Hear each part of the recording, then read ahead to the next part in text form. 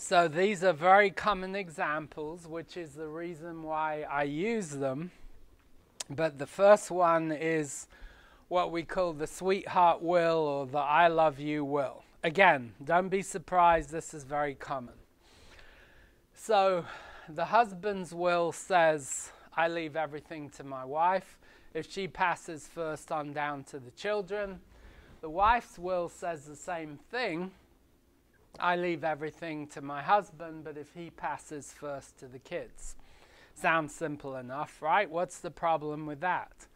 Well, John and Agnes, Mr. and Mrs. Johnson, we talked about them earlier. Let's say they have wills like this, and Agnes, she's the she's the well spouse, okay? She's the spouse at home. But actually, guess what happens? Agnes, she has a stroke or a heart attack. She passes away before John does. Does that happen? Sure, that happens all the time.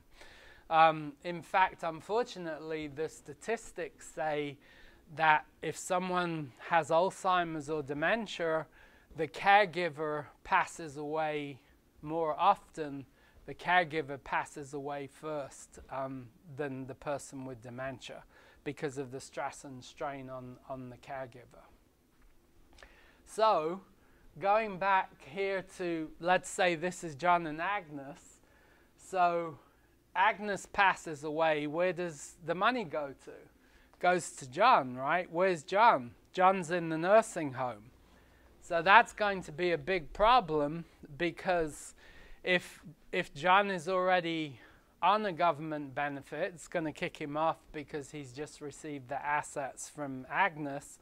Or if he hasn't applied yet, let's say he's a veteran, he hasn't applied for the benefit yet, he's not going to be able to for the same reason because he's just uh, received all the joint assets from Agnes.